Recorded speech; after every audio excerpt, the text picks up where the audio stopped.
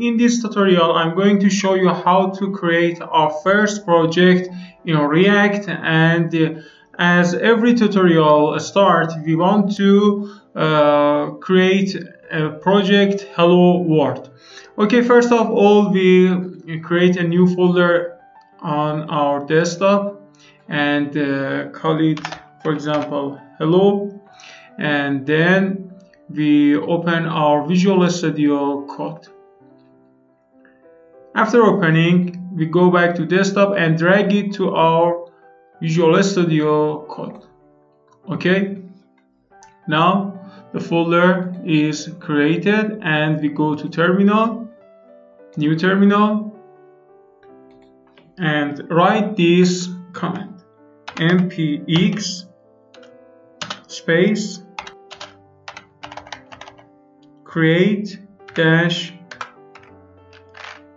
react dash app the name of our project. Hello okay?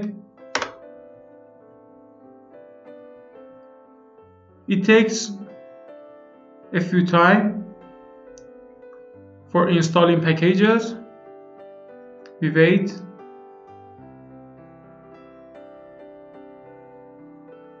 Okay uh, we go back to our desktop and consider this folder hello and open it.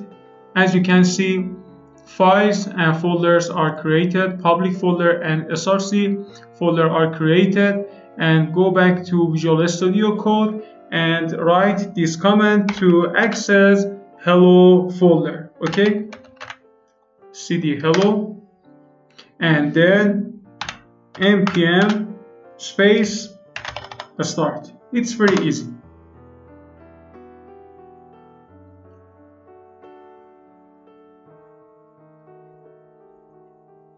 Now our browser is opening with this address localhost 3000 okay?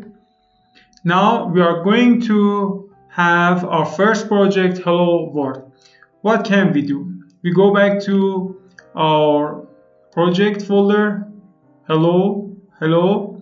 And as you can see in public folder we have these files index.html and also these images. Also in src folder we have these files.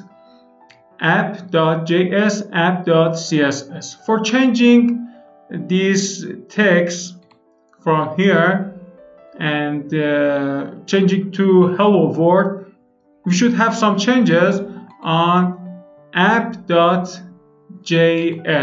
file okay? As you can see this text is here and we can delete it and write.